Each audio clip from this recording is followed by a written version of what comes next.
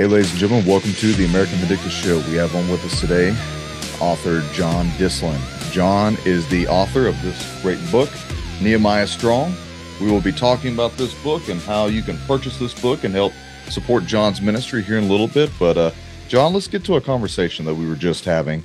For people who don't know, um, John and I will sit on the pre brief before we start the interview for almost an hour or two hours, and it'll be the best topics that nobody has ever heard. And then we'll say we probably should start recording. And you get almost the worst part of the of the interview because all the cool stuff's been said. So let's talk about we were talking about um logos and designs and why John went with this logo on his book Nehemiah Strong and why I went with this logo uh, behind me. And uh, we were talking about going to God for a a new representation of what it is that we're doing and uh, John, where were you? What were you saying? Well, uh, I, would said before, you know, it's it, it's funny what we'll do in our strength and our will and our plan, and then what God will have for us. He's all his plan is always better, right? Not 100% of the time his plan's better. And in fact, one of my uh, most beloved brothers in Christ, Magnum, and Magnum, I hope you hear this sometime. Uh, shout out to you, my Aussie Spec Ops brother, Magnum. Uh, gave me this this plaque behind me, and it, it's Proverbs sixteen nine. It says, "A man's heart plans his path, but the Lord directs his steps." And so that's right in keeping with you know, we, we might even have a good plan, but but God always has a better plan. And so I had designed this really campy, uh, this Nehemiah Strong cover that you know looks like a, a junior high uh, book of Nehemiah Sunday school workbook, and and a month or two after that, it just kind of gelled in my spirit about that Nehemiah Strong cover with the flaming lion of Judah head. Um, and you know, gave me a better cover, which I'm so thankful for because I, I look at my cover all the time. I'm so I'm so glad I'm not looking at a campy junior high, you know, Sunday school workbook. Uh, but I get to look at the flaming Lion of Judah head, right? But uh, anyway, you, Doug, you and I were talking about you know logos and your logo and you know asking for a better logo. And and you had said that that logo on your hat that that cross of calvary is uh is a new logo for you which is a lovely spirit. I was simply ma- going to make the observation doug that uh in recent months i've been convicted about not leaving the cross behind but having greater focus and greater emphasis on what I think might might be an even more powerful logo, and certainly a logo of hope, of vindication, of uh, salvation, etc., is not the cross, but the empty tomb. And you know, I think I think it's it's lovely and it's it's uh, appropriate to be mindful of the sacrifice, but to incorporate more of you know where the sacrifice was going and that's the empty tomb which for us means you know confirmation that the sacrifice was not in vain. Like it, th- there actually is redemption there is resurrection and his resurrection power for his son gets uh imputed for you know our resurrection power for us out of our death and sin to you know come out and be born again and to you know live in his power. Um once we come to a knowledge of the truth and receive it and are saved. So that that that image, in fact, I've thought about how to how could you craft a simple yet compelling image of that empty tomb and ruminate on that because I was talking yesterday with another gentleman and and really since then have been convicted about something which is you know salvation is awesome and and obviously you know sharing the gospel as it says at the end of matthew is imperative it's an imperative for believers that you, you know what's nice about sharing the gospel is it's not like you lose it when you share it. You share it and now two people have it right? But i would add that in addition to being gospel sharing believers we also should live and walk in an empty tomb sort of uh, spirit where we embrace the not only the the salvation piece of it, but the charged, empowered ambassadors of Christ piece of it, saying, you know, what am I going to do now? I, I don't just sit at the bus stop and you know wait to either finish out this run or get raptured out of here or whatever. I've got work to do. And in the hours that remain, as these last grains of sand pass through the hourglass, we need to be busy about our Father's work, um, doing those works that He's laid up for us from before the laying of the foundation of the world in this moment because you know we're th- this moment is pivotal and it's counting on people like us who are switched on understand the nature of the times you know recognize the evil you know to stand up to step out and to be fearless and to uh to storm the gates of hell basically you know i think there's many representations of salvation um the reason why i chose this hat i was looking for because i'm trying to trying to find a what i think is a good hat to wear um for putting a logo on and you know i don't want a bunch of gobbledygook all over my face and my head and my clothes. Anything that I do, I want it to be short, to the point, um, and and let let the words speak for themselves or the image speak for itself. And the the cross, the white cross and a and a black hat, the light and the darkness.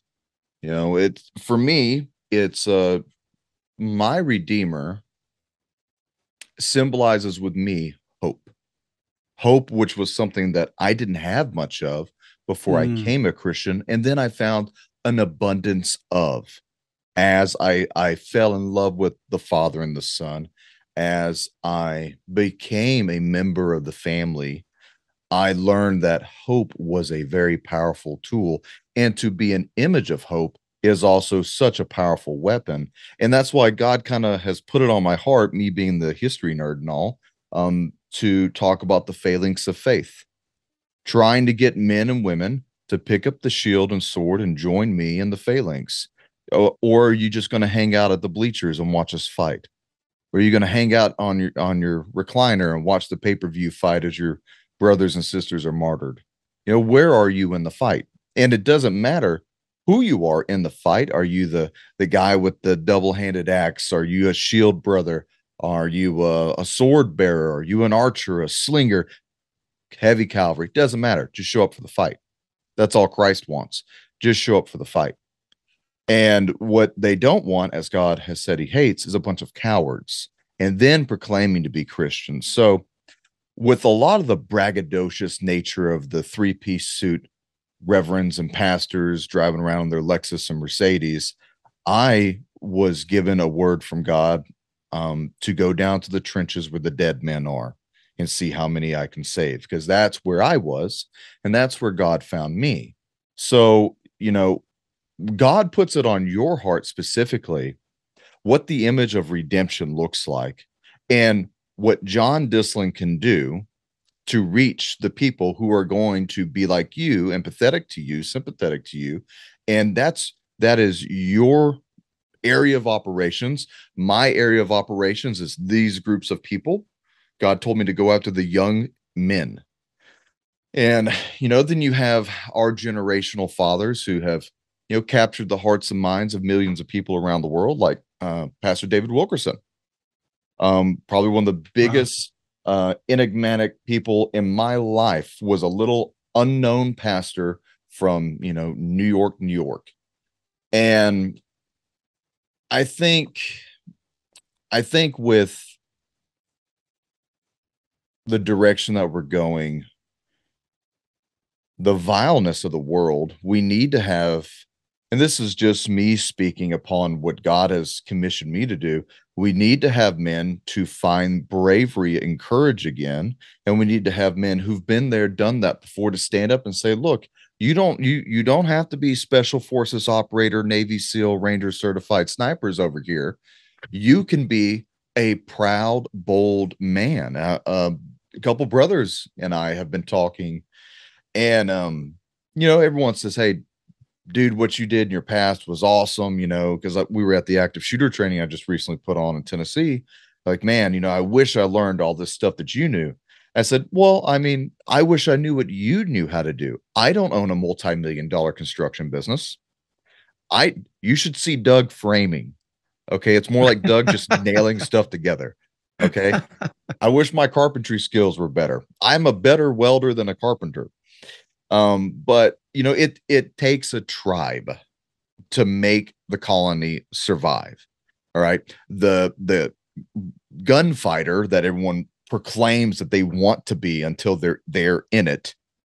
Um, that's a one percent crowd.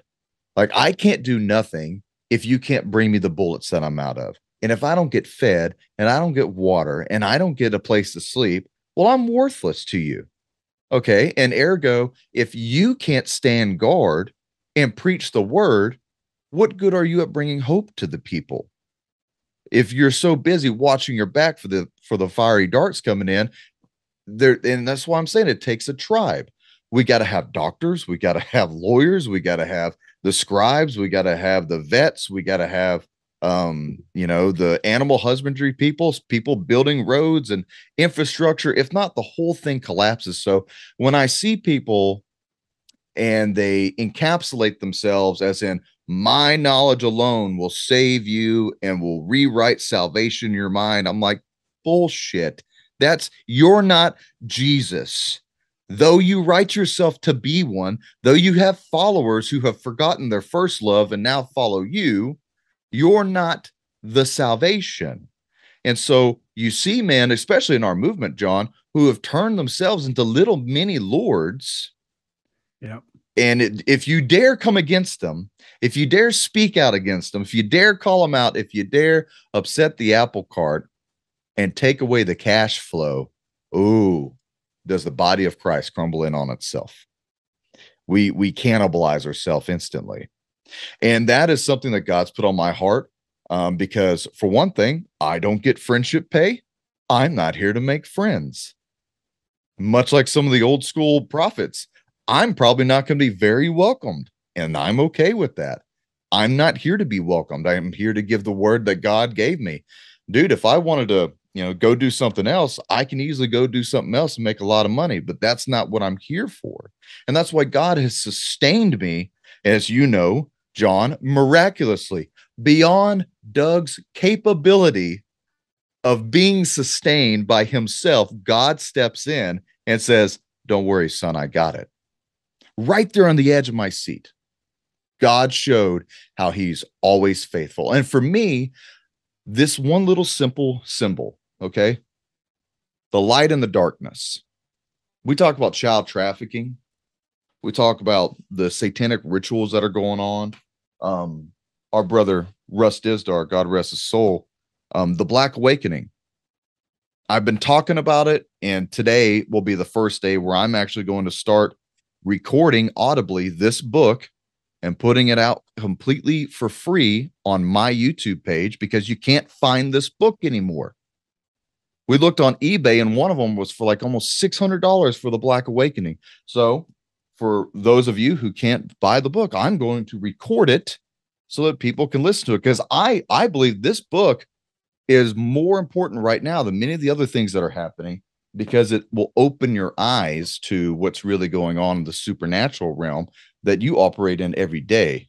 And once again, being that that light in the darkness, um, John, you know, being able to show people, hey, the tomb's empty. By the way, did you Romans yeah. see that? You know, can you believe when the apostles walked by and you have those three the three Roman soldiers sitting there going, "Where's he at? Where is he at?" They stole his body and they walked by. No one stole his body, kid. He's gone. Like, could you imagine the shock? I know, I know Doug's been a private before. I would not want to go report to my superiors that I just lost the most important man in the world because I fell asleep because a angel came and visited, right? Because who's going to believe that?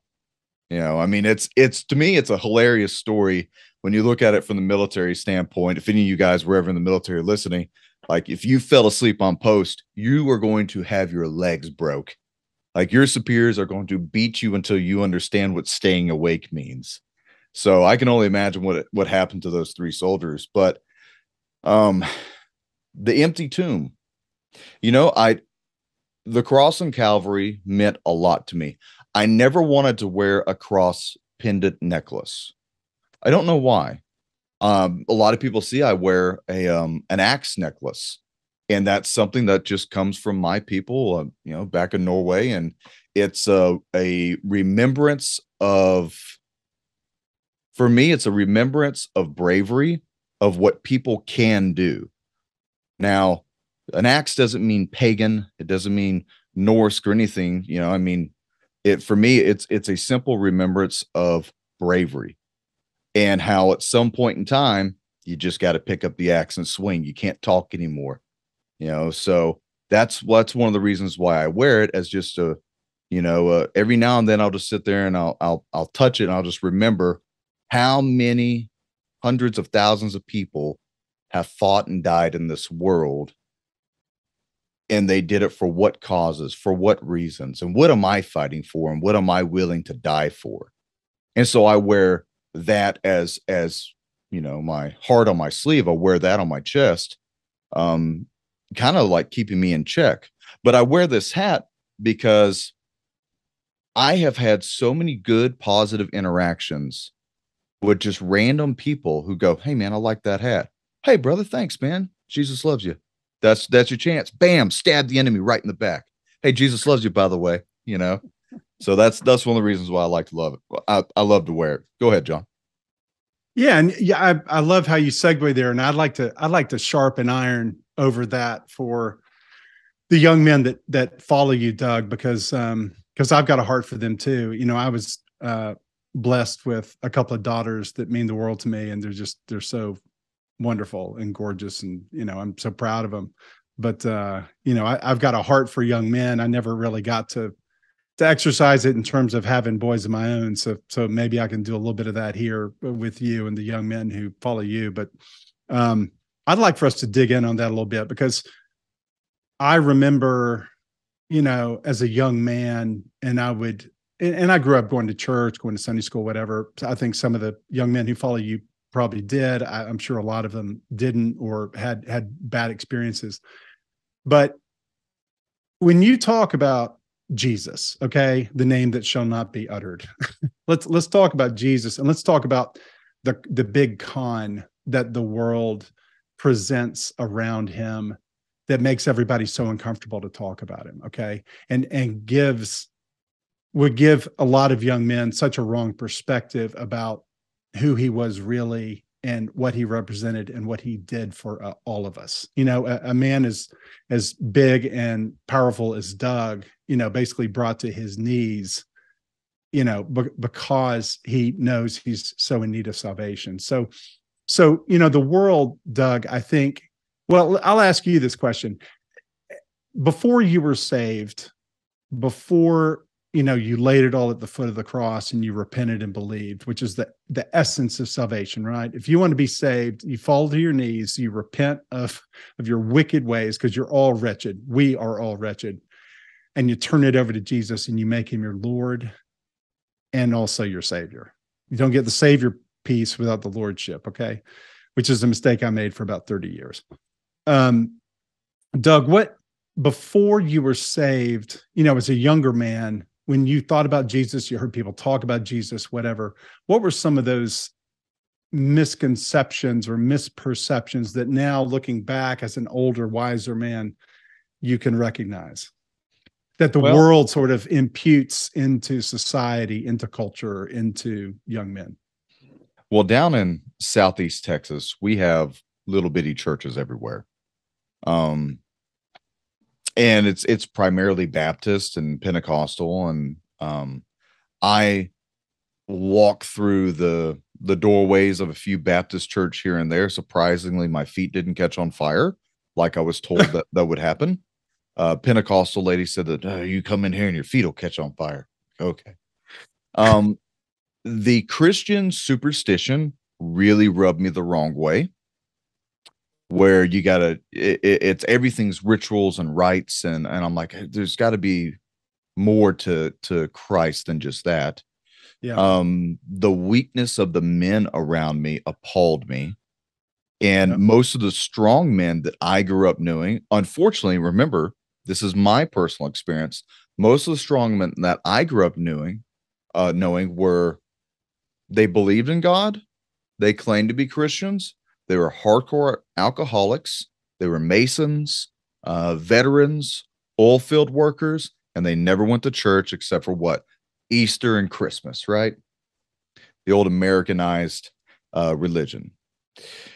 And so I didn't think much of it. It was never a opportunity or option for me growing up.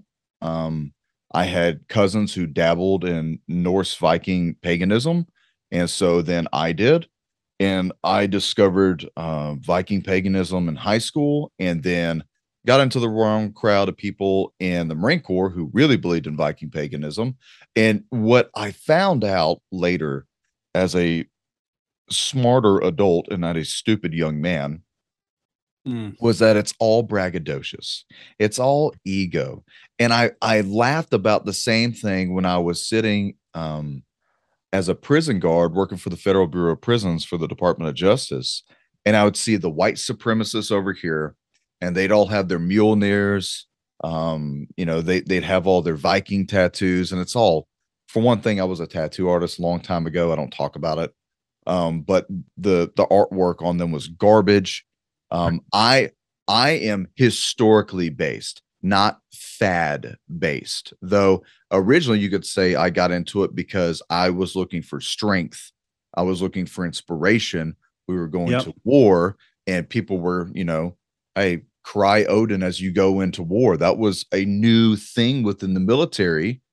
And looking back, the spirit of that that has so greatly infected not just the military but law enforcement you'll see um, thor and you'll see odin and you'll see loki and and they're all over and i was like man what happened to christ now as a christian i can look back and say that but as a young man it's all power and brutality and strength and looking cool and it's a bunch of empty promises because it never brought me anything yeah. It never brought me anything. I mean, you know, the strength that I had came from me.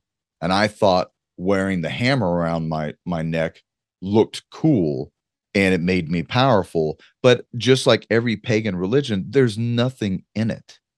Yeah, you get what mo- momentary um temporary things here and there, um, a little adrenaline rush here and there. But other than that, you know, um, it was nothing to me but I I was very much into the history of everything. So I got too I was too much of Alice tumbling down the rabbit hole on that one, much like our flat earther friends.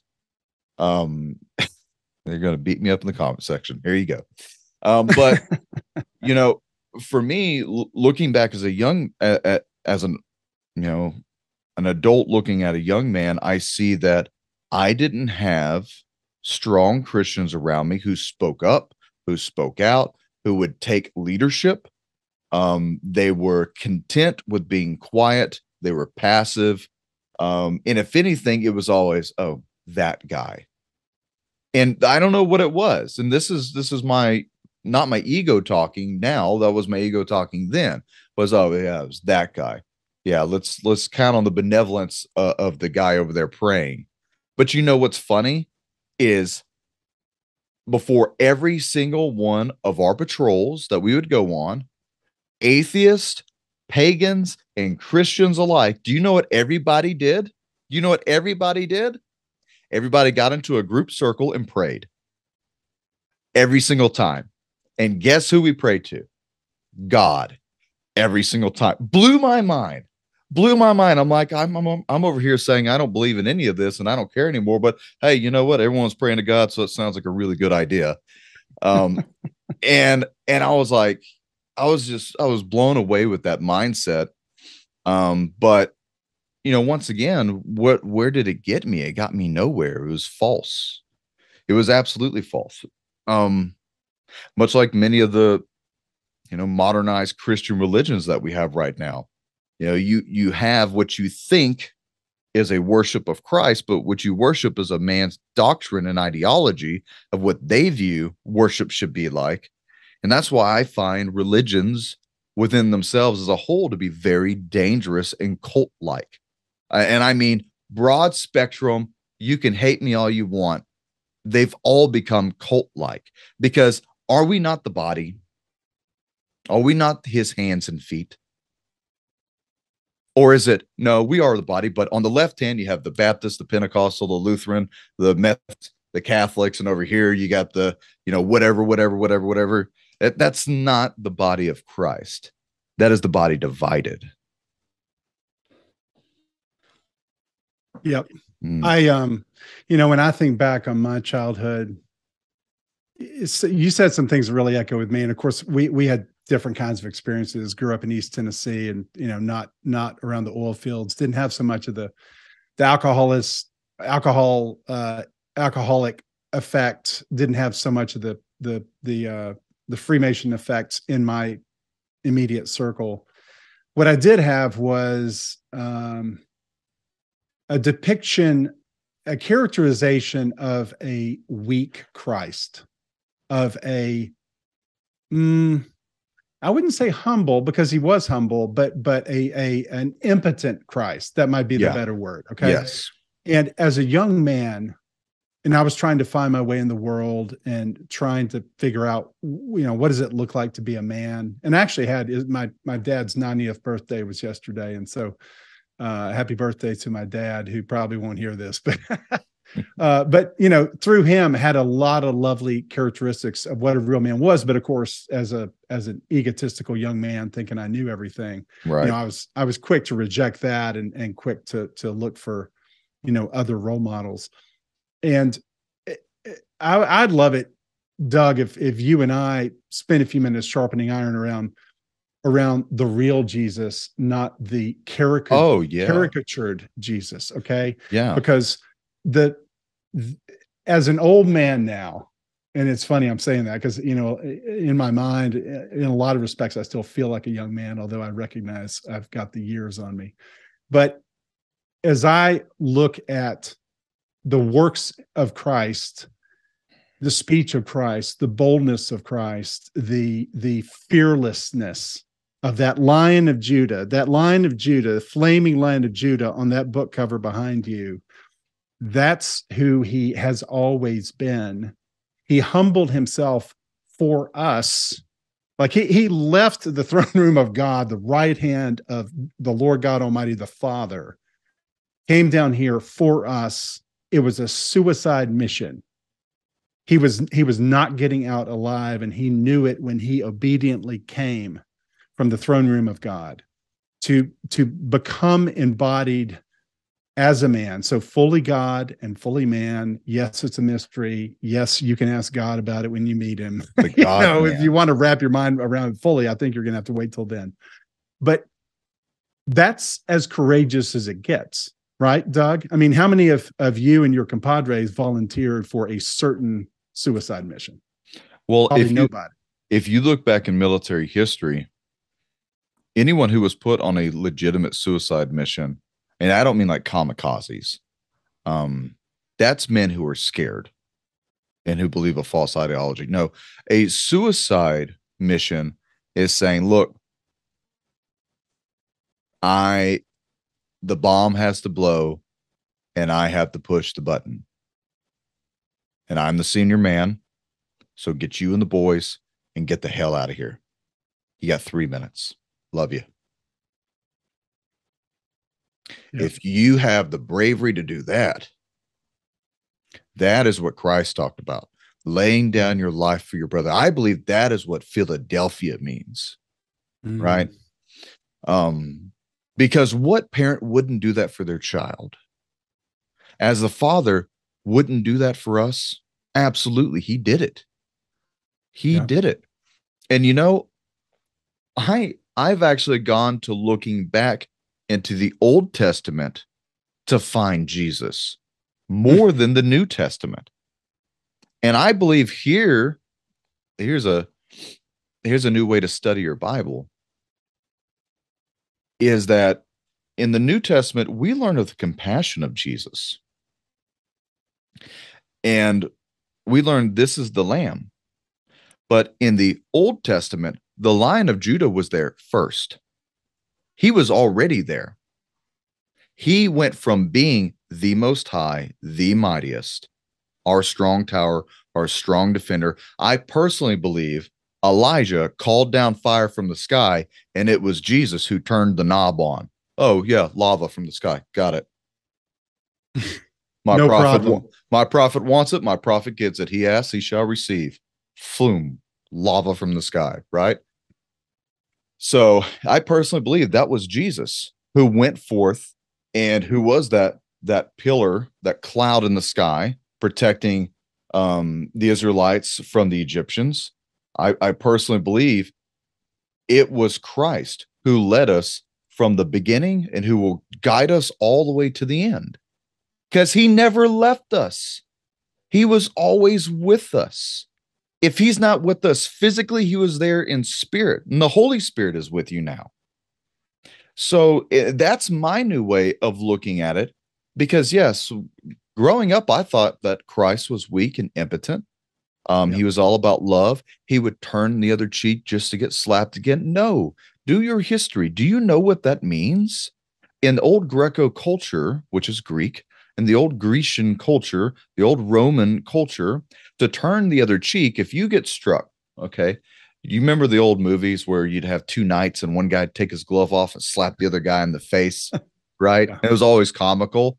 And that was a I challenge you to a duel. Where do you think they got that custom from? Bam, you hit me, turn the other cheek means, okay, hit me again. I dare you. You really want this? Strike me again. That is what Jesus was talking about. You limp-wristed Christians out there who you who abuse what the master said. That's what he was talking about. And you have to have a level of compassion and a level of justice that goes with it. And only Christ can bring the compassion and the justice to scale equally because men's hearts can't be trusted because we'll go from vileness, too much compassion and empathy, and you look like a wuss, to over aggression and anger, and you become vile, you become a villain. Only Christ can put the temperament in the blade. Only He can. You know, you have to sharpen the iron, but eventually it has to go back into the water and the oil and be quenched, or the blade will be brittle. And you strike it and it breaks. You have to understand the processes. And if you don't read from Genesis to Revelation, you're not going to understand the process of God constantly putting you into the fire and pulling you out and bashing everything stupid out of you. That's what I used to say. Oh, Doug's got a bunch of stupid left in him. Let me put them back on the anvil and throw thrust them back into the fire. Like I said, um, when I was 30, I was like, man, yes, I'm 30. And in about a couple months, I look back at me being 29. I'm like, man, I was an idiot kid. And then at 31, I look back at me being 30. Man, I was an idiot kid. Up until last year, I'm like, I finally get it, and I'm 36.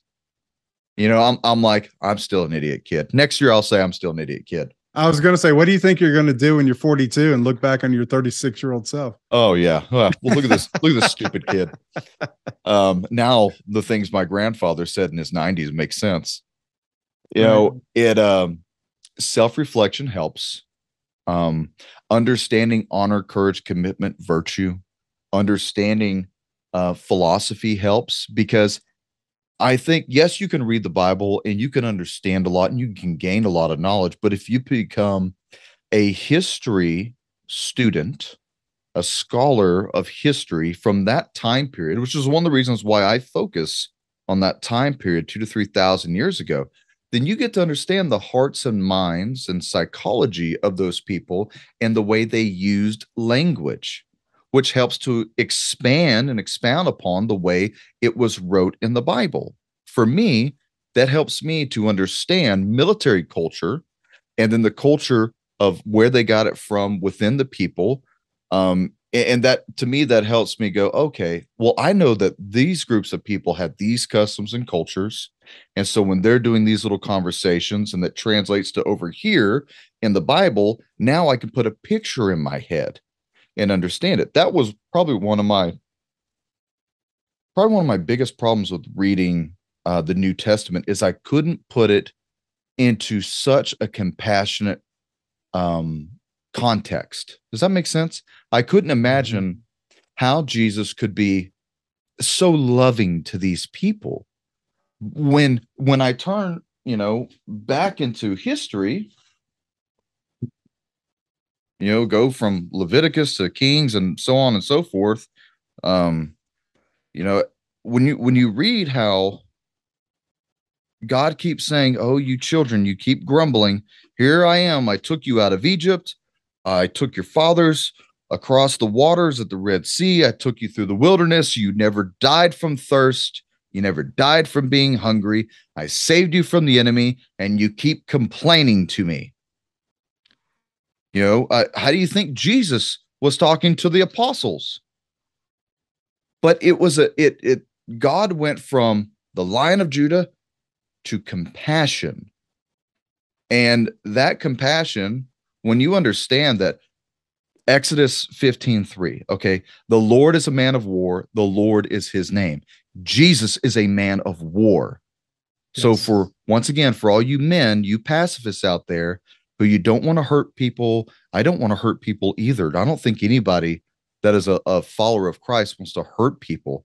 But if you don't understand that God wanted his people to be warriors, the from the outset, the nation of Israel was a military campaign from the beginning, all the way to the point that Christ returns. It is a military campaign. That's how everything is set up.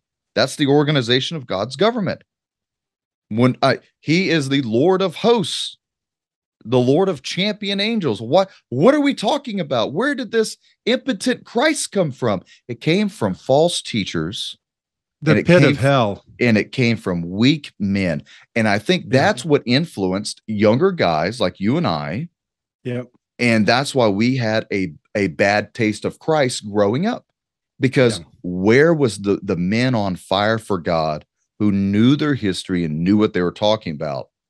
And they didn't, you know, go to, you know, Sunday school for three months and learn, okay, this is this year's sermons, read from the book. I think Yeah, that's that's blasphemous. And and so eh, to to to to riff on what you're saying right now, Doug, I would just exhort the young men who who you young men who follow Doug, don't fall for the con that our shared enemy would have you fall for, which is Christ is impotent. Christ, Jesus Christ had to humble himself in order to get himself to, well to to trick satan and his minions into putting him on the cross to pay the price for us because as scripture says you know that there will be bloodshed in payment for sin that's just that's that's the price that's god's uh law and and but the beauty of that is it set up the opportunity for the spotless lamb who was slain, which was a prophetic utterance about Jesus 700 years prior, by the way, pointing to Jesus on the cross.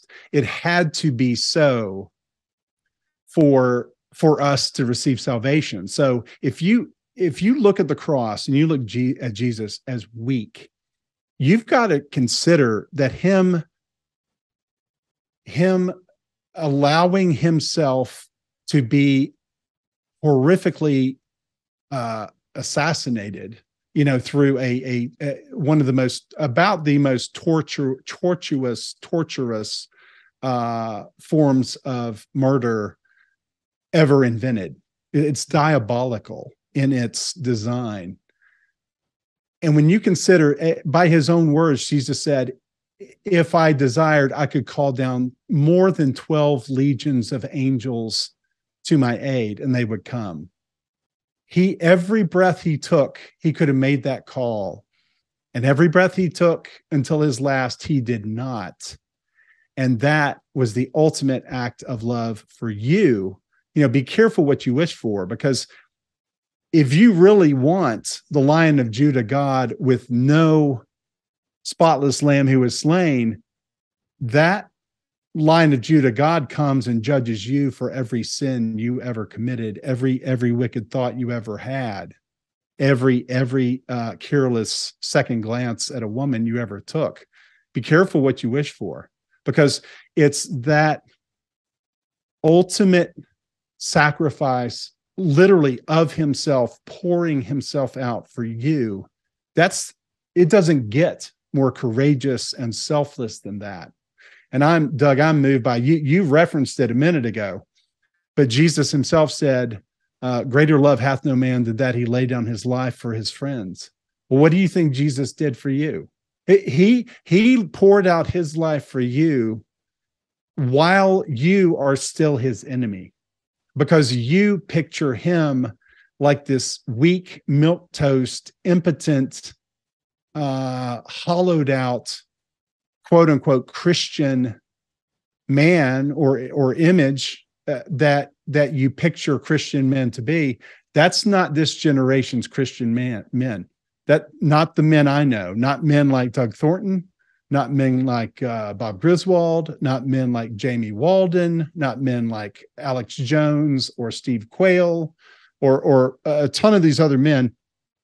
You can be, and Doug, I want your input on this. I, I, I would I would argue that I would argue that one of the most courageous things that a an up and hard, uh, right-minded, powerful man of God can do is to stand in the face of the enemy and be long suffering enough like Christ to not absolutely, you know, cut down our enemy because we love him enough to, to want to give him a chance to choose salvation before his end because we also are mindful that we were the enemy once too. What are your this, thoughts on that? This is very funny that you have been saying what you've been saying, not knowing that I'm opened up to Second Kings chapter six, starting at 15, verse 15. On. That's the Holy Spirit, by the way. Oh, dude, totally. Holy Spirit knew knew you were while I was while I was spilling words. Welcome to church with John and Doug. when the servant of the man of God rose early in the morning and went out, behold, an army with horses and chariots was all around the city. And the servant says, Alas, my master, what shall we do? He said, Do not be afraid, for those who are with us are more than those who are with them. Amen. All right, listen to this. Then Elisha prayed and said, O Lord, please open his eyes that he may see. So the Lord opened the eyes of the young man, and he saw, and behold, the mountain was full of horses and chariots of fire all around Elisha. And when the Syrians came down against him, Elisha prayed to the Lord and said, Please strike this people with blindness. So he struck them with blindness in accordance with the prayer of Elisha. And Elisha said to them, This is not the way, and this is not the city. Follow me, and I will bring you to the man whom you seek. And he led them to Samaria. As soon as they entered Samaria, Elijah said, O Lord, open the eyes of these men so that they may see. So the Lord opened their eyes, and they saw, and behold, they were in the midst of Samaria. And as soon as the king of Israel saw them, he said to Elisha, My father, shall I strike them down? Shall I strike them down? He answered, You shall not strike them down. Would you strike down those whom you have taken captive with your sword and with your bow? Set bread and water before them, that they may eat and drink and go to their master. So he prepared for them a great feast. And when they had eaten and drunk, he sent them away, and they went to their master. And guess what? And the Syrians did not come again on raids into, into the land of Israel. That's providence, buddy. I can't believe you said that, and I'm sitting here reading it. Um, but I want to say, if if you don't know about the horrors of war for of warfare that happened in the Old Testament, Second Kings, man, is filled with it. Ben Hadad's siege of Samaria was brutal, brutal. Afterward, Ben Hadad, king of Syria, mustered his entire army and went up and besieged Samaria. And there was a great famine in Samaria as they besieged it, until a donkey's head was sold for 80 shekels of silver, and the fourth part of a cab of dove's dung for five shekels of silver. Now, as the king of Israel was passing by on the wall, a woman cried out to him. Oh. You're going to hear a, a, a brief passage of Jesus. God has has taught me how to hear Jesus throughout the old scripture. And and I'll point it out to you if you don't understand it already. Um, a woman cried out to him, saying, Help me, my Lord, O King. And he said, If the Lord will not help you, how shall I help you? From the threshing floor or the winepress? And the king asked her, What is your trouble? Okay, from the threshing floor or the winepress? The king of Israel says, I can't help you. Should I get the bread and wine? Who gave us the bread and wine that helps us? Who hmm? is the bread and the wine? That's right. So right. I, eat, I've learned eat, eat, this bread. This bread is my body. Drink this cup. This cup is my is my blood poured I, out for you. I swear to you, Jesus is throughout the entire, every single book of the Old yes. Testament. Yes. You, you have to know the New Testament to be able to see him in the Old Testament. Yes. You know, it's it's not like Meshach and Abednego and Shadrach. Don't and leave Shad- out Shadrach. And, and Shadrach. Sorry, I'm I need to keep drinking water over here. Um Shadrach me um say it, John. Shadrach, Meshach, and Abednego. Thank you. All right. So yes, he was in the burning furnace with them, but he's all throughout scripture guys. Just you just have to read. That's what i think is probably one of the worst things that christians don't do is they don't read. Um, well and doug but, if i could just if i could illustrate that and god says it himself okay? I, I can't i can't quote the uh the book chapter and verse but but in scripture in the old testament it says it is to the glory of god to conceal a thing and the honor of kings is to search a thing out he wants you to be a king and a priest in his kingdom. He Absolutely. wants you to search him out. And, you know, Doug, 10 years ago, you couldn't have seen what you see now in scripture, but you've invested time and you've sought God out in his word. And as you have, as you've honored your heavenly father by seeking his face, he has blessed you with an increasing degree of discernment. And I'll tell anybody who's listening, like if it, if you want to get really switched on and understand the supernatural uh heavenly realm war that's raging and now we see it spilling into this physical realm if you, if you don't get that first of all you're you're just got an unlit grid like you you just you just can't you can't see authentically to the depth you need to the nature of what's going on in this world around us. But if you want to get switched on, first of all, get on your knees and ask for discernment. Absolutely. But pick up your Bible and start reading it. If you don't have one, go buy one. You can get one for like five bucks. Um, and uh, and if you want one, you can reach out to me at my website and I will send you a Bible. Okay. NehemiahStrong.com or johndyslin.com. Um, but uh if if you want to really understand what's going on in the world, pick up your Bible and start reading it, and your eyes will your eyes will open. Yeah, man, uh, it's it's that simple. It's so simple. The Lord put it in one great big beautiful book for us to read, and he, can you yeah. believe He even gave us two eyeballs to read it with. So, just in case one goes bad. Just in case God spared us for another. Yeah. Um, you know, I I I think I think the problem of the times right now, and I've been beating this horse until it's nothing more than roadkill, so I'll give it another kick, is that we are focused on things that we probably, you know, shouldn't be so focused on. Sports, politics, music, um, you know, our hobbies, and then we have the giants and the demons and the alien deception. All good things. All good things. I understand. I understand. But has it replaced your first love? Do you know more about those topics than you do Christ? You know, mm. if if I said, John, we're going to be out in a group of people. I want you to explain to everybody why Nephilim is so important to know. Man, I could go to any any conference out there, any Christian conference, and there'll be 5,000 Steve Quayles lined up to tell me everything that he's ever wrote in a book. And that's great. But are you that compassionate to talk to a stranger about Jesus? There's your war. Mm. There's your war. Step out. Well, and there's your victor, right? There's your there's your path to victory. Is yeah, and, and here's the thing, Doug. I, you know, I think I think in a sense, God gave us men uh, an appetite for understanding our enemy, right? A, yep. a, a, desire for discernment, a desire for yeah. understanding. Gathering and, and that's a good thing.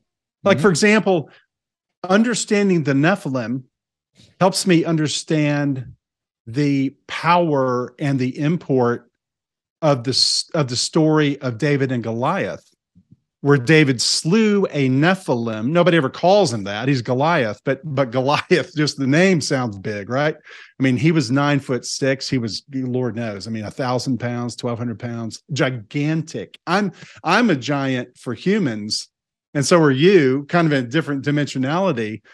But but we both re- would regard Goliath as an as an astounding giant, and yet yet God slew Goliath through David David is a model of Christ, right?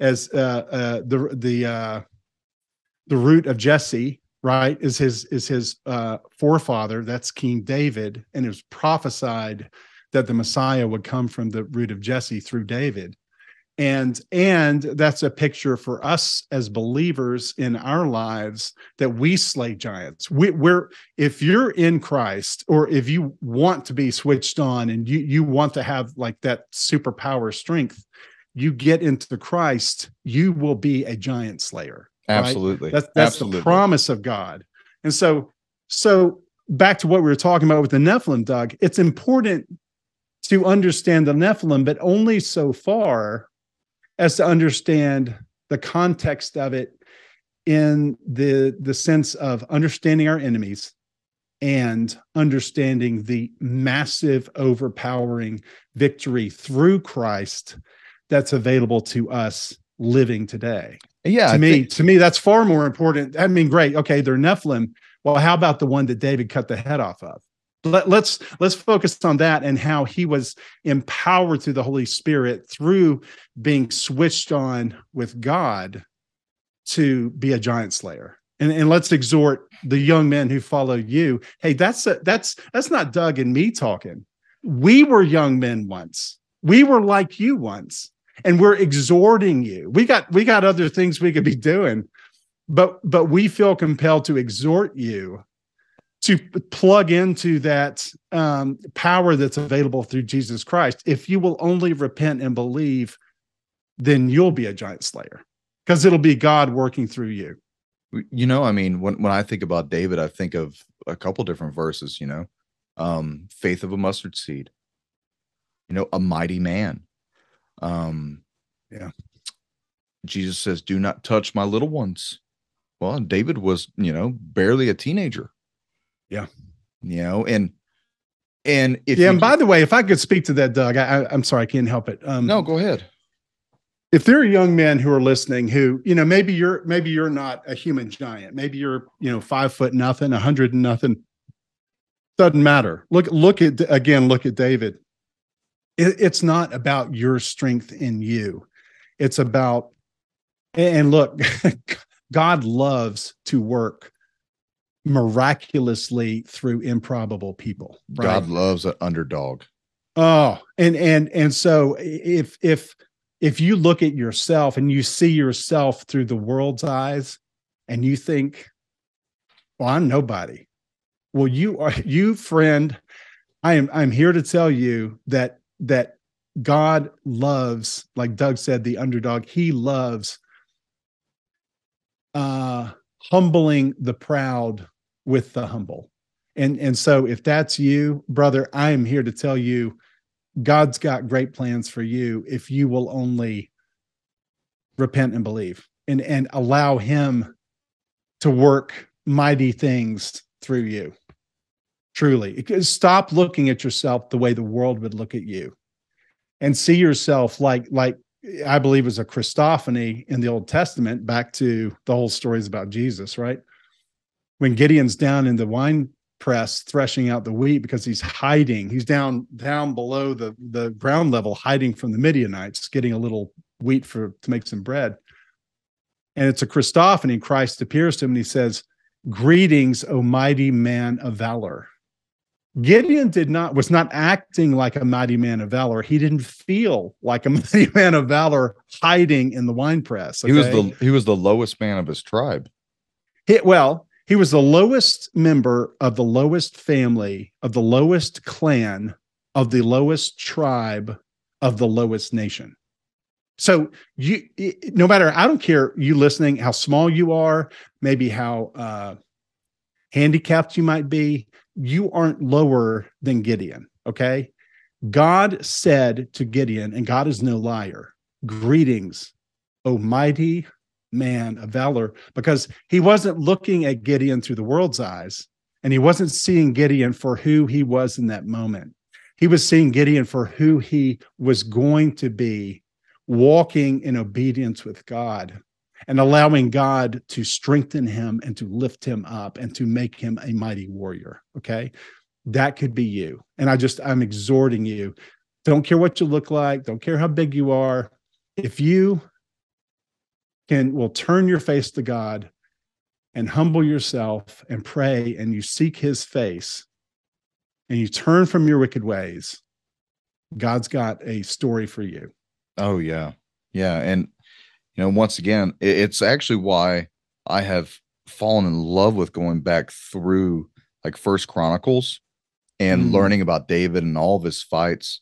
And um, my my youngest son, our, our newest child, um, he's actually named after David's uh, top general. I think like Captain General, whatever his title was, uh, Abishai. And Abishai the son of Zeruiah, killed 18,000 Edomites in the Valley of Salt. Excuse me? 18,000 men. A division. Yeah. On his own. Yeah. Go, go tell Chuck Norris, go kill all those people over there. That's pretty much yeah. who we're talking about. Like, I, it's it's incredible when you read and the inspiration of what these men were able to do because they magnified God, they glorified God. The men would go out and sing the praises and the worship of God before the battle. The Greeks did the same thing. They would actually sing the Paean, which was a battle poem that they would march to in the phalanx, which would keep the chest up, the lungs open, the throat open, so that you could breathe. Because in the midst of adrenaline, you get tunnel vision and you get scared and you start to collapse in. You wore a lot of gear. I mean, the, the Spartans wore 60 to 80 pounds worth of armor. And with a 30 pound shield, the Aspis, the shield, um, it was hard sometimes and it was constricting. So they would sing so they could walk and breathe together. You know there's a psychology behind this. Well the same thing with the israelites. They would praise god and put him out in the forefront of the battle. They would they didn't put themselves in the forefront of the battle. They put god out in the forefront you know? How many times do you do that in your life? And for all the young men listening you know i don't think there is a man alive right now that i could turn to and say yeah admire that guy certainly not me. You know, so I, I don't, yeah, I, I don't know who I could turn to. And so I just keep turning back to the Bible. Like, there's your admiration. Admire what happened in history. Learn from what happened and also the mistakes of history. Learn from the good things and bad things and develop who God wants you to be. But be willing to step out into the fight. You know, I had a I had a a widow woman who's probably in her late 70s told me she's wheelchair bound and she's stuck in an apartment on like the 20th floor. Very sad story. But she said, I want to be in the fight. And I'm just sitting there going, Praise God, there's one. Wow. The, I'll take the little old lady who's paralyzed in a wheelchair before I'll take 90% of you soft-handed men who say that you you and all your your macho ness i've seen too much of it i've seen too much of the bravado i've seen too much of the macho ness dude, I did 15 years of vi- of professional violence. Uh, you're not going to scare me. You're not going to shock me. I'm I'm not going to be oohed and awed by your manliness because I know one hit to the face crumbles most men, and it will crumble every woman. But one hit to the face will crumble most men because they go out and test themselves. And I think that's because the fight's not in them anymore. And if that little old lady asking me, Doug, what can I do to be in the fight? And I oh. said, and I asked her, well, what can you do? You know what she said? I can make the greatest chocolate chip cookies you've ever ate. Perfect. When everything goes bad and we come back from a bad day of patrol, I, I want chocolate chip cookies because it'll raise the spirit. And that's you in the fight. Isn't that right, mm. John? How many times, John, mm. have you and I sat here and talked offline in a way that no one ever heard? And you rebuked me, John. You rebuked me because I was denying people who were sending donations to me because I felt bad about it. What did you tell me? I was denying their ability to be in the fight. Yeah. You know, yeah, mean, and, and, and, God bless the people who want to be in the fight. I, I'll just to, it's amazing, you know, this this is a Holy Spirit thing going on. But there's a story I wanted to tell about an invalid, uh, much like this this lovely woman who said, "How can I be in the fight?" There in the 18 late 1800s, there was a uh, a world renowned evangelist named D.L. Moody. He went on, I think this is the 1880s, maybe. He went on vacation in England. And, you know, this is the day of sailing ships and all this. So, he, so he's in England for months, weeks, many weeks in the countryside. And uh, one Sunday, they go into the local church. By the way, uh, Doug and, and listeners, this story was told multiple times I heard it from Russ Dizdar. Okay. So this is where the story comes from. D.L. Moody goes into the local little Anglican church there in the countryside of England. Of course, he's so world renowned as an evangelist that they recognized him. Uh, and you know, this is the, before the age of internet. So, so to be recognizable around the world like that is kind of a big deal. So anyway, they recognize him, and the pastor says, "Oh, you know, Pastor Moody, would you please just say something?" And he's on vacation, but you know, what are you going to say if if the pastor asked you to speak? So he gets in front of the the audience and or the the the uh, congregation, and he basically shares a a simplified version of the gospel. You know what Jesus did for you. He died for you, horrible death, and you're a wretched sinner, and didn't have to do it, but he did it because of love he loves you and and he wants you to come to salvation. And and at the end of this this simple statement of of the gospel he said now anyone is there anyone here who would like to receive this free gift repent and believe and and be born again? You know please just raise your hand. And this is the congregation you showed up early for church on a sunday morning right? Almost every hand went up. And so then he says no no you know because there's a little bit of a you know cultural gap between America and, and England. He said, no, put your hands down. And he he said, you must misunderstand. He very simply laid out the gospel. And he said, if you have never received this, if you want this, you want to repent and believe, you want to get saved, raise your hand. Almost every hand goes up. He's like, come on down. Come on forward. And they you know prayed a prayer and and got all these people saved. And and in that little season revival broke out in this community this little you know uh, rural area in england. All of a sudden hundreds and hundreds of people thousands of people coming to this little church. And and they started meeting every day every night and it was revival right so so holy spirit just pouring out this place people bawling and begging for forgiveness and coming to faith and inviting their friends and and th- this goes on for a few weeks and all of a sudden dl moody's not on vacation anymore, right? He's working, working. They're you know saving souls and sharing the gospel and welcoming people into the family of of God. A, a few weeks go by, and all of a sudden it struck D.L. Moody, and he turns to the pastor, and they're they're working. They're just you know preaching the word and and saving people. Turns to the pastor. He said, "Who has been praying for this?" Who has been praying for this? And the pastor said, Follow me. and they go into town and they go, you know, in that time in England, you would have a you would have a I, I'm not sure what you call it, like a sanitarium. You would you would have a place where invalids go to die, almost like a hospice. Okay. And so they go into this place, and in that place, there's an invalid who is a member of the church, but they're so old and broken they can't come anymore, and they're they're lying there in, in the bed dying. And the pastor takes them to the bed of this precious believer who anyone in the world would say this this person's worthless, right? We're just warehousing this person to die. They go into this person's area next to their bed. On the wall next to the bed of the invalid that the world would say was worthless was a picture of D.L. Moody. And this invalid, this, this worthless person, powerless person, prayed, did not just pray for revival, in their community, this person prayed for D.L. Moody to bring revival to their community. So back to what I was saying a minute ago. You think you're impotent? You don't you don't think God has room for you? You don't think power's not available? You think power's not available to you?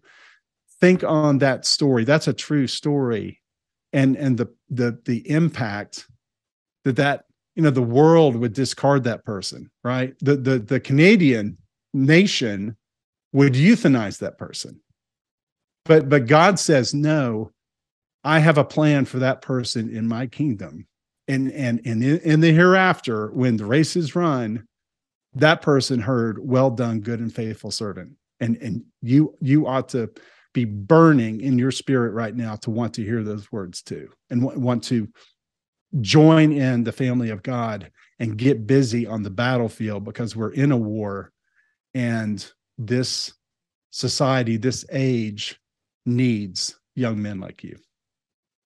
What do you think? Let's go hypothetical.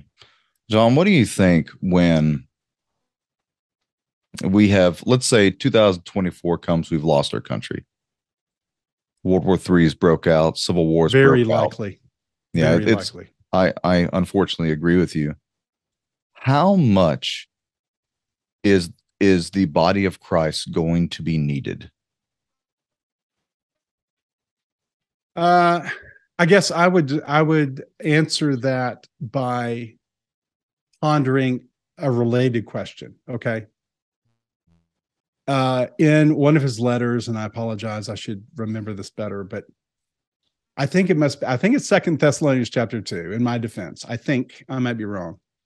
Paul writes that the restrainer, it's translated either restrainer or comforter, but he says the restrainer will restrain until he is taken out of the way. And then there's a comma, and then it says, and then the lawless one will be revealed the man of sin the son of perdition blah blah blah that's the antichrist and then all hell breaks loose. So so by inference it, it's clear that the body of christ is the salt and the light that sustains and preserves a an even somewhat orderly civilization until it's pulled out and then literally all hell breaks loose so so i guess that that would be my answer is that the inference by scripture itself and paul's writings is we're the linchpin that that holds everything together the holy spirit through us right? And when that pin is pulled i mean think of it as like a pin on a grenade doug. When that pin gets pulled it's going to be hell on earth. And and and we in conjunction with the Holy Spirit are are what is sustaining civility in the world. And and frankly, shoving, you know, and that's what I want to exhort your people to do. I've been exhorting people in different interviews. It's time we get really busy and storming the gates of hell. And, and not only storming the gates of hell, Doug, taking these uh, traitors to humanity, these human, you know, demon sacks, and shoving them back in behind the gates of hell. As we storm the gates of hell, the battlefield is ours to take. I, I'm utterly convinced of that. And and and through God's power, his sovereignty, and and the the the frankly the dominion. This is one of those uncomfortable things they don't teach in Sunday schools, right? The the authority that that Christ Himself gave us believers. I mean, you want to plug into power. Go read all the scriptures. There's a section on it, you know, uh, spiritual authority section in Nehemiah Strong. Go, go, but you don't have to buy the book. Go, go read scripture about uh, spiritual authority held by Christians, and it's it's uh, boundless. Uh, but but that's that's to, so sorry, very long-winded answer, but but that's the degree of impact and import I believe the church, the the body of Christ, has in this age. It's it's uh, it makes all the difference. What do you think? Well, I just I I consider the repercussions of going against God and doing evil on the side of the Lord. Um, First Chronicles 21, starting at verse 11. So Gad came to David and said to him, Think about this. Think about when worse comes to worse in this country, which of these would you rather deal with? Thus says the Lord, choose what you will, either three years of famine or three months of devastation by your foes while the sword of your enemy overtakes you, or three days of the sword of the Lord, pestilence oh. on the land, with the angel of the Lord destroying throughout all the territory of Israel. And, you know, when God said this to David, because David asked for a census that was not holy, and God brought pestilence among the people of Israel, I I I think back to this and I go, man, what is worse?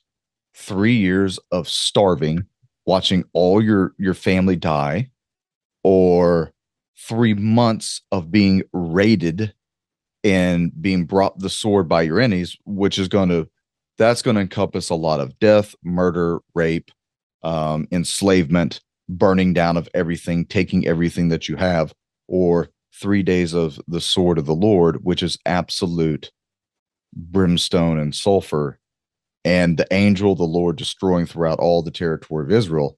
I mean, like I would rather starve to death. I think before I see those other two, I, will find a way. Uh, maybe the vegans are onto something. I don't know. I'll, I'll, find a way. Pass I guess. The, pass the soy pudding.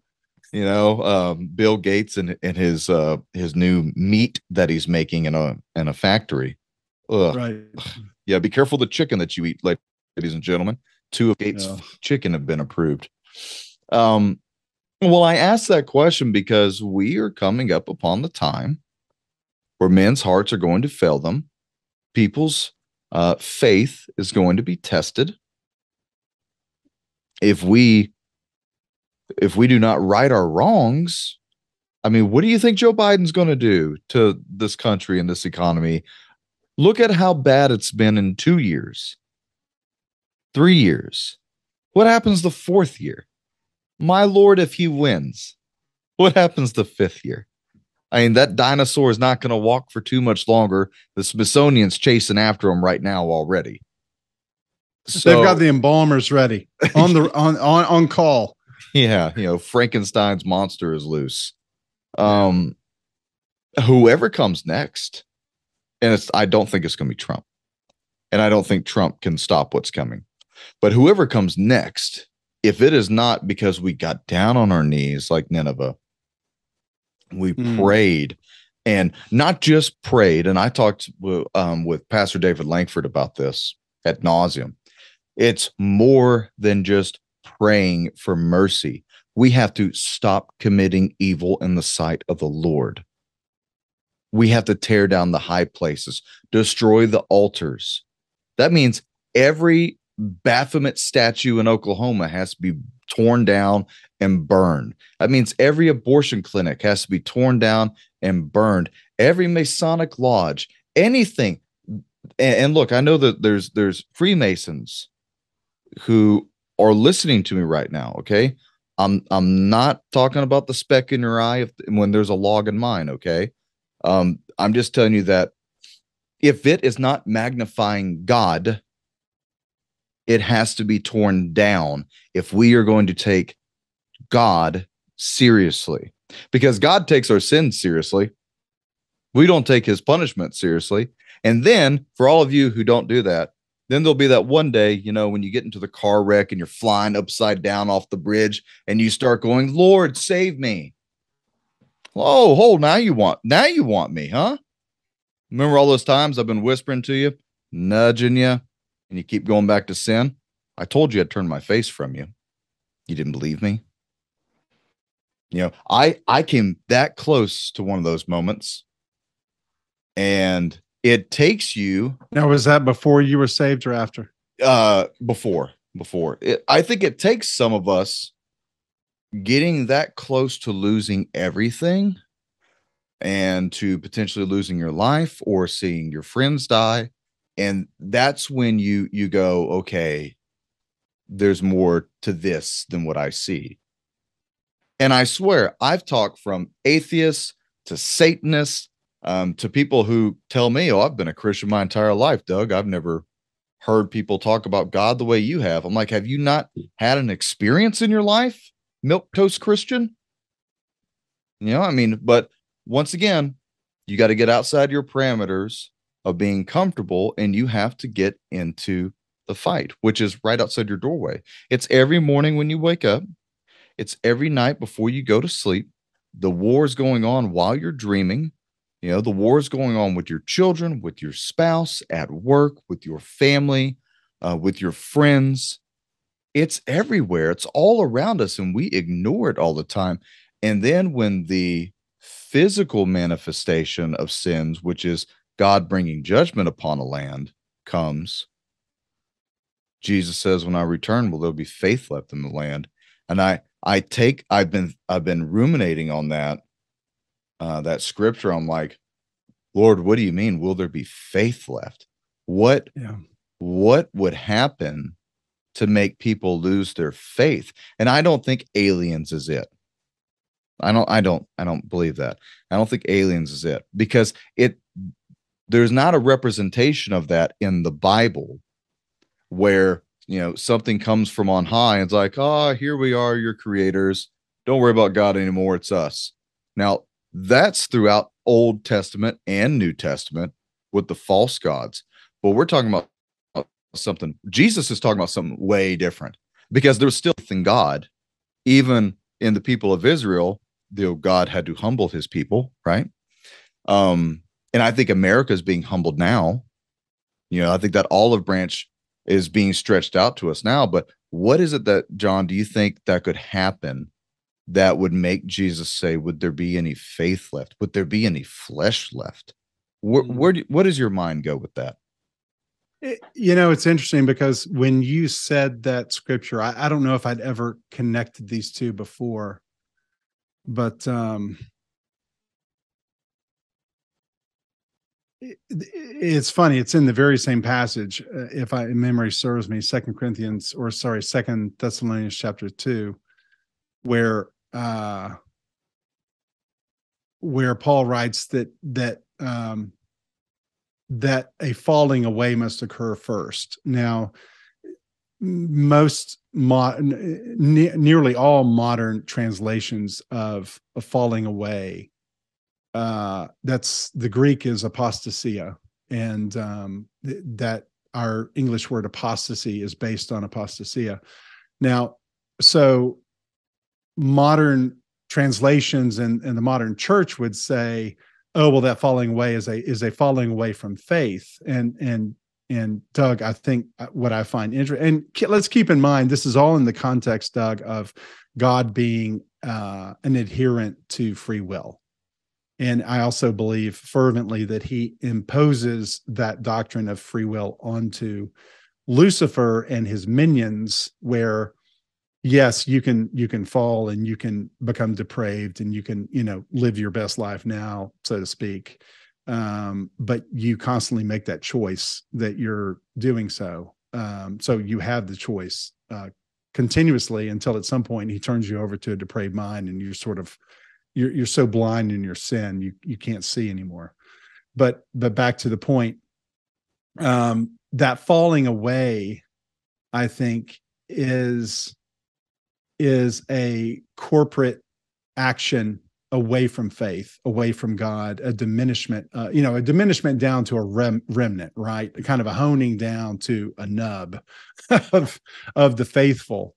Uh, now, so so I do think it it, it doesn't necessarily represent a a moment in time, a, a single action, but I think it it it represents a season, a long season of more and more and more people turning away from faith. I'll tell you, I'll tell you something that's that's a depiction of this, that's a physical depiction every Sunday morning. You know, I live here in the South, and uh, you know, church used to be a pretty big deal. Um, when I first moved to our town, when we would drive Sunday mornings to our church, we would pass another big, uh, well, not another, but a, a United Methodist church uh, kind of up the street and around the corner. And there used to be cars parked all over this main street in my hometown because that was Sunday parking for the big Methodist church. And everybody just understood it. And it was just lined with cars, like dozens of cars on the street and filling the parking lot and filling across the street, et cetera. Now you know, we go to church Sunday morning, there isn't a single car on that street.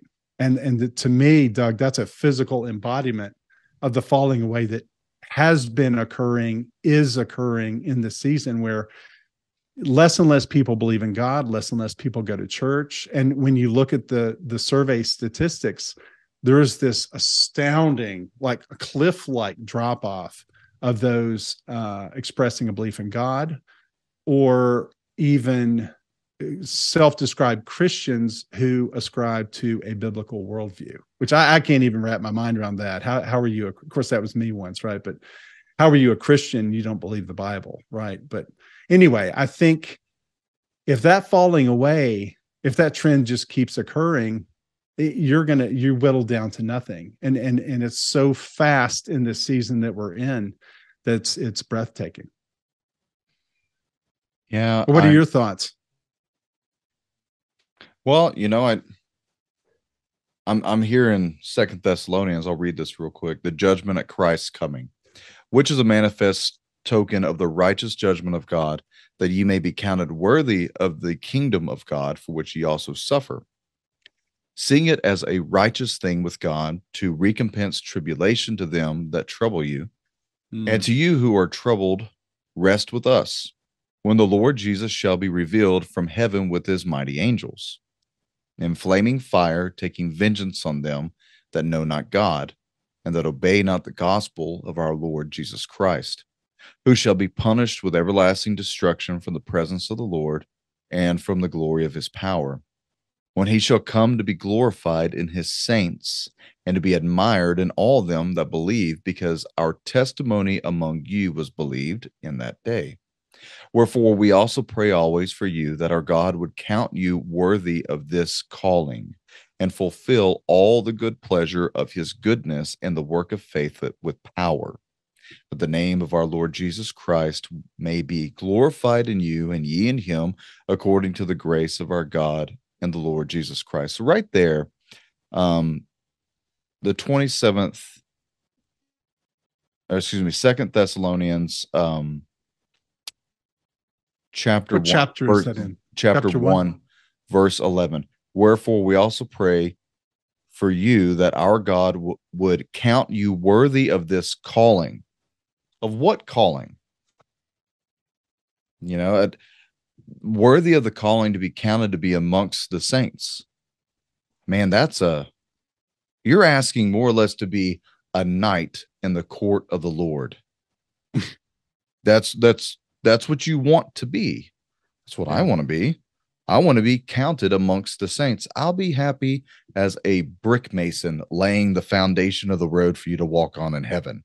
Okay. I don't care. But the goal here as saints, we're we are fighters. We're more than conquerors, but we're still conquerors. That that scripture I think sometimes gets twisted by men and their ego, but we are still conquerors. We are still to go out and to make disciples. we're still to go out and to fight the enemy. Have Have you seen the movie Nefarious? I have not. Oh, it gives me goosebumps. Anyone who's watched it, if you've watched it, please comment. Um, it's a very good movie. It's made by the guys who made the movie uh, God's Not Dead one and two, and the lead actor from Boondock. Oh, I apologize. I, I have seen it. I have seen yeah, it. the lead the lead actor from Boondock Saints plays yeah. a prisoner who is tormented by demons, mm-hmm. and he's considered. He calls himself the Prince of the Most High, and that's his title. And he he says that, you know, he's under Lucifer. The way that they wrote that character, uh, Nefarious, uh, the demon, the way they wrote how when when God made the angels, it was just God and the angels. And then when God made man, they became jealous. Um, Lucifer started his falling, and then the angels who joined him uh, fell. And the way they wrote it was so compassionate, so believable about how much the fallen angels detest us because we are the apple of his eye and that we will you know actually be mightier than the angels eventually. Yep. And that we'll even judge angels. That's that's such a, a strange thing to think of. And when you hear the way they wrote it because i mean it, it was there was power in this movie man. I i just recently watched it and i was like oh my lord. Um the way the demon speaks about it, you know, is like, we hate you. We hate everything about you. We're the reason why you go to the abortion clinics. We're the reason why you commit suicide. We start wars. We cause divorces.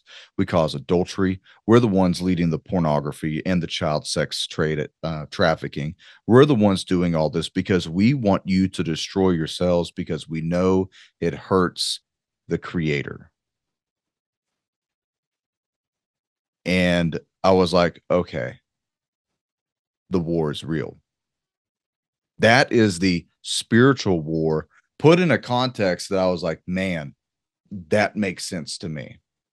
You know, that really resonated with me. I was like, oh man, that now that really makes sense because I have dealt with prisoners and I've dealt with criminals who wanted nothing more than to torment their family because, oh, I was the apple of the eye and then the new baby came and then no longer me and then you know you end up meeting the prisoner who killed his entire family because you know he was jealous. Well that's satan and that's all of his fallen angels. And and you think about the diabolical scheme of that that character in that movie and how it is pronounced throughout the entire bible um, that the spirit behind this wickedness is to make us destroy ourselves so that we can't be with him because he is a jealous God and wants us to be with him and we choose not to and God can't play the game. God can't play the back and forth. You were sent a savior, you were sent the Bible to know every man in the world knows because everyone has a cell phone at this point. Even the freaking cannibals out in the Congo, they got smartphones. They got Bibles out there. It's everywhere. The yeah. you know, I mean, what every 10 years there might be a a new people found out in a forest. Well, those people eventually will be found and they will eventually be exposed to Christ. So I, at this point in time, I think everybody on the planet has been exposed to Jesus one way or the other, right? Has access to him one way or the other. And so I think we're in that point in time in prophecy. And so what comes next is a great falling away, is these huge battles, is the wars and rumors of wars, the pestilence, the famines, the earthquake in diverse places, the earth stumbling to and fro like a drunk man. And like i try to put these things in my mind like where we at in scripture and how does it happen? Is it an event connected by a narrative? Is it an event connected by scripture where it's just to go bang bang bang bang? Um but who's in control of all of it it is the enemy. It's the enemy all the time. And the enemy wants you to magnify everything but the Redeemer. And so, and so that's why I tell people there's nothing wrong with studying about giants. I'm part of an archaeological team out in, in Arkansas. What do you think we're out there trying to find? Freaking giants, right? I'm not being uh, hypocritical when I say this.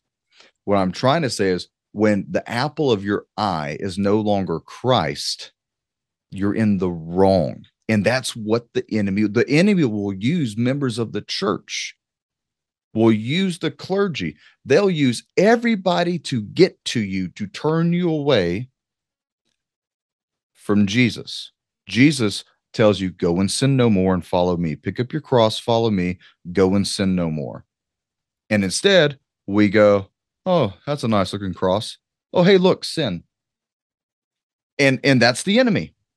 You know, it's it's the stick and the carrot, the rabbit sitting on top of the tortoise. And that's why I just tell Christians, be careful with what you're doing, with what you're watching, with what you're viewing. John, that goes for you, that goes for me. None yeah. of us are uh, impervious to this. We're not Superman.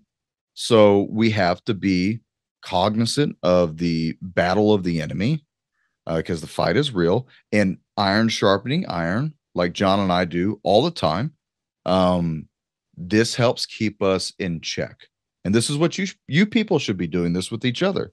And if you don't have that person, pray to God, reach out that they will find God will find that person and bring them to you so that you can have that guy who will be there to, you know, keep you accountable, holding each other accountable.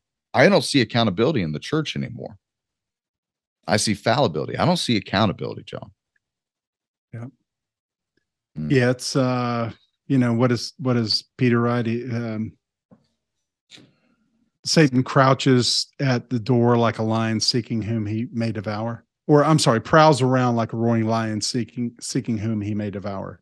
Um, you know, and and in this age, I mean, can you imagine back in the 30s or the 50s or the 1880s, you know, them they couldn't imagine the technology you know that there's there's more there's more human knowledge and experience in the hands of the primitives in the Congo in their smartphone than there ever was in the libraries of you know London or Versailles or uh, Alexandria, right? absolutely, or Harvard, and uh, and so, eh, but along with that, the uh, you know, the lusts of the flesh, the lusts of the eyes, and the pride of life is right there in your hands too. And so, you know, it would take us, I mean, you could pull up on your computer less than one minute, we could be in the most vile, depraved videos and images uh, that we could beyond our conception. And so there's never been an age of greater uh per, well perversion because I think we are as, as and by the way, Doug Doug was referencing for those folks listening. Doug was referencing several phrases from Christ's own words about what these last days would look like, okay? And and how we would know that we're in them. I would really encourage listeners go read Matthew 24, Mark 13, and Luke 21. You can also read in Isaiah, I want to say it's chapter 26, where it talks about the the earth tumbling, uh, swaying to and fro like a drunkard. That's in Isaiah in the 20s. Read, read all the 20s and you'll find it in there. You should read it anyway. But um, go read that. That's where it talks about the signs of the times. And in those passages, and the passages vary somewhat because they're different witnesses to these uh, sayings of Christ. And so they remember different things, present it complementary ways, not not um, conflicting but complementary ways okay? Because all scripture holds together. Um and in at various times jesus described this time as the days of noah and described these times as the days of lot. The days of noah were characterized by nephilim so it's it's appropriate to understand the nature of that. And he described it where uh, all men's hearts were on evil continually Okay. So it was a state of utter uh, depravity and so depraved that God said enough, and he he drowned the whole world in a giant flood till there was you know Noah and his family in the ark and the animals, and then the the, the days of Lot, uh, it was uh, Lot lived in Sodom, and Sodom and Gomorrah were characterized by illicit activities that uh, were of a prideful rainbow flag nature. And also, it was characterized by uh, affluence and by uh, lots of leisure time, lots of time to get distracted, to get caught up in your pleasures, to get caught up in the the fool's gold of the world. All all that nuts, all that sparkles is not gold, right? And so that was the days of Lot. And so those were the characteristics of the age as prophesied, foretold by Jesus himself. And if you if you just you know pick up the the the digital newspaper on your Apple laptop, whatever your smartphone, and read the headlines, that's what characterizes the age we find ourselves in today. Would you agree, Doug? Absolutely, absolutely. And yeah, you know, before closing, I would just say that you know we're all to be ministers in Jesus' name. We're we're all to be out there making disciples, but I think what's going to be coming soon, as I look out into the ether and I see this, I, I think what's going to be coming soon is new kinds of churches of the new age. They're already popping up. Yeah. And I mean, you're you're going to have like you know the Seven Sons of Sceva type churches. They're they're not even they're the I don't even know if they'll have Bibles, but they'll be referencing, you know, hey, you know, Paul and the guy Jesus he talks about. Well, in his name, we'll call out demons. Yeah, go perform that exorcist on a, a demoniac and tell me how that goes for you. The seven sons of Sceva were beaten naked and drug out of a house, running and screaming, and put fear in the entire village of people. But the Lord's name, Lord Jesus' name, was was exalted because of that. So for us, we have to have a care for studying Scripture, being willing not only to study Scripture but to speak out against those who are not using Scripture properly, using compassion, of course. Um, because what does yelling at people ever help, right? Mm. So, you know, using compassion and, and, and understanding, being true believers, confessing to each other, holding each other accountable, magnifying Christ, and staying focused on that thin, narrow road that leads to salvation. Other than that, the the road to hell is wide and filled with pastors and reverends and clergymen and all different types of people who thought they were doing the right thing no, didn't our works lead us here, Lord? Uh-uh. Oh, because you did it for you. You didn't do it for me.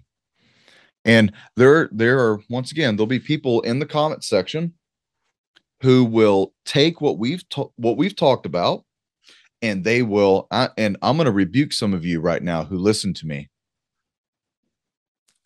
I I watched the conversations in the Discord channel, I watched the conversations on the comment sections. It's half the reason why for almost six months I turned off the comment sections because you people can't control yourselves.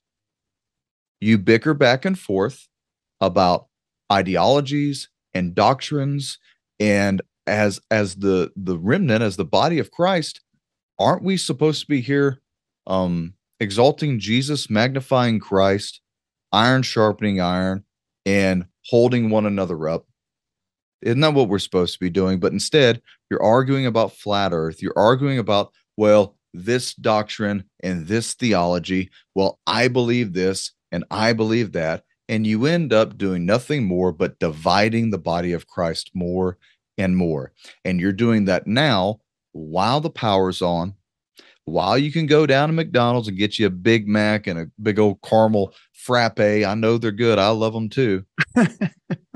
you can go down to Dollar General and pick you up a bag of Lucky Charms. Hallelujah. Praise Jesus. Milk's right on the next aisle. What are you going to do when your freaking city's on fire? What are you going to do when you wake up and you are in now Ukraine that is half out of power, half rebel, and you really depended upon the enemy to bring you diapers. I mean, I mean, I'm watching Russia bring diapers in. They're bringing um, stuff in for breastfeeding mothers, multivitamins. Um, they're bringing in antibiotics. Hey, praise God that they're doing that. The Americans haven't, have they? I'm pro America all day long, the right America, because currently we have the wrong America. And maybe the right America will never come back, John. But in my heart, I'll keep it alive. In your heart, you'll keep that alive. That's what makes America great is us. Us. Not anything else, but we who believe in the American dream, which I think is dying because we let we let the church die. Uh, we took Christ out of everything, and and here we are, right? So, you know, just be careful. Times are getting weirder. Things are getting a little bit worse. Uh, the elections haven't even started yet, so the real fun hasn't started. Man, I wish I could work for DHS for just one more year because the riots are going to be awesome. Though that overtime is going to be sweet, boys. Soak it up while you can because probably the lights will go out after that. In, in all reality, if the experts from the Pentagon are correct, we got a year, year and a half. You know, so that's why I take this more serious now than I ever have. John, I'll admit something to you. People ask me, Doug, what type of podcasts do you listen to? I listen to other podcasts. What what guys do you follow? I don't follow anybody. I don't follow anybody. I don't well, listen. You follow to, somebody. Yeah, the Bible. His book is in front of you. Yep. I don't listen to other people's podcasts. I don't watch other people's DVDs. I don't. Uh, God had me shut off everything from everyone and focus on this. And my head cleared up. Imagine, imagine that. I'm going to give you the last. uh Let me see. We got three minutes left. Let me give you the last three minutes, buddy.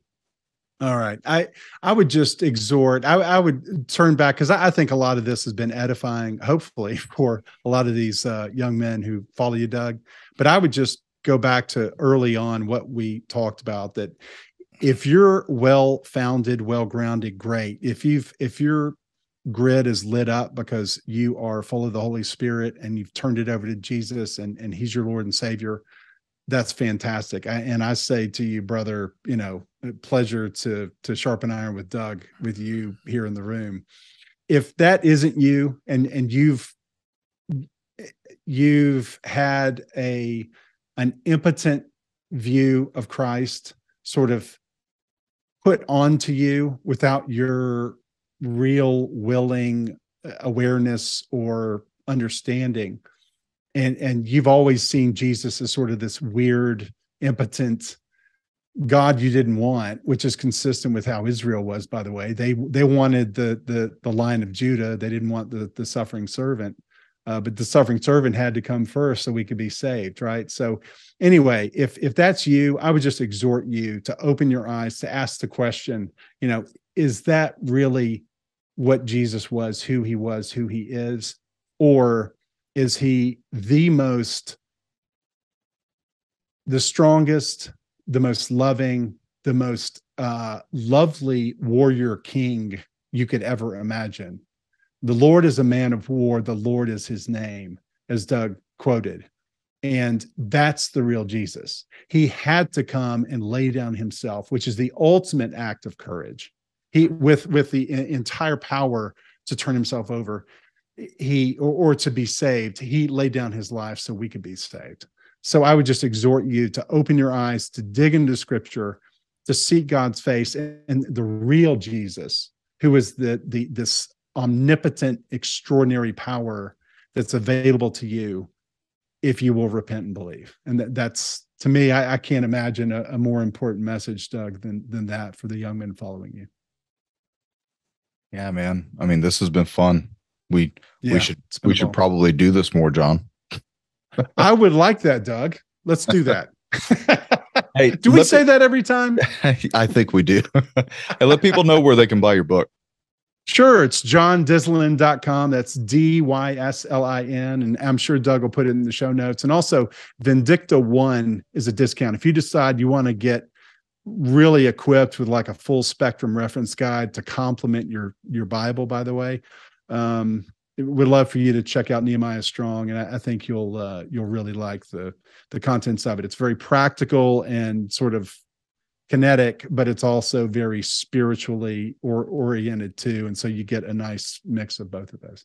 Absolutely. And the hand of God definitely helps you write that. You know, like I said, mm-hmm. I like to use it as a point of reference for my Bible because it helps bring my Bible to life and it helps, wow. you know, it helps give gravity to your words. Um, if you're reading material that's not doing that, uh, I mean, I'm not going to tell you don't read it, but you know, you may want to focus a little bit more on him with these days. That's my personal opinion. I'm sure that's John's personal opinion. I think that's Jesus's opinion. But yeah. um, look, guys, thanks for thanks for listening to us. Please help support John Dyslin and his uh, his lovely ministry and what he's doing. Um, look, guys, that's that's all I got. I'm I'm paying attention to the news the best I can right now. Doesn't seem like there's a lot going on, so you know, don't. I will say this: don't forget and Jamie Walden said this to me the other day, and and I think he's absolutely right. Go out and have fun. Go live your life. Don't live underneath your prepper's spider hole rock with all your MREs and and you know all your guns. Go out and enjoy life while you still can, while you're still young. Even for those of you up in the ages, long in the tooth, white in the beard, you're still young. Go out and enjoy life. Go see what you haven't seen before. And, you know, while you're out there, make sure to mention Jesus a couple times. So, uh, John, buddy, it's as usual, it's great talking with you.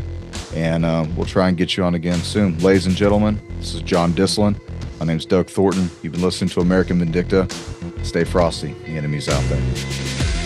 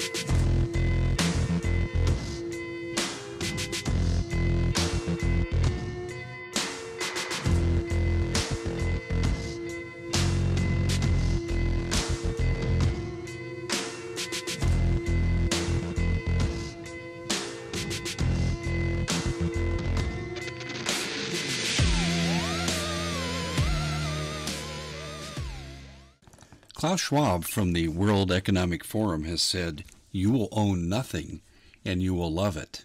And that's represented by what's going on across the planet today, where the economy of the world is in free fall. And nowhere is it more in evidence than with our own President Biden deliberately trying to sabotage what we have access to food, other resources. So Americans are in a unique position, really for the first time in our history. We're going to have to provide for ourselves or subject ourselves to the whim of the government? Do you really trust a government to feed you that left a thousand Americans behind enemy lines in Afghanistan? I don't think so. So, where do you go?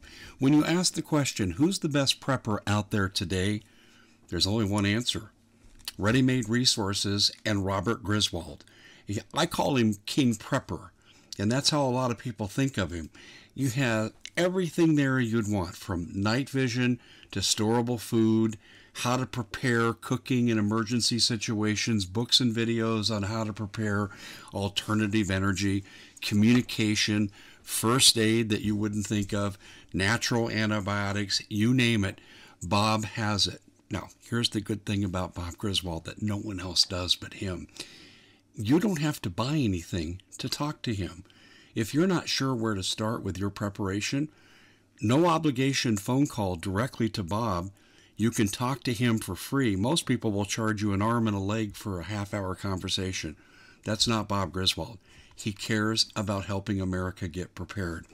Go to readymaderesources.com or you can call the number directly at 800 627 3809. Again, that contact information readymaderesources.com for the best prepping outfit in the country or call Bob Griswold directly 800 627 3809.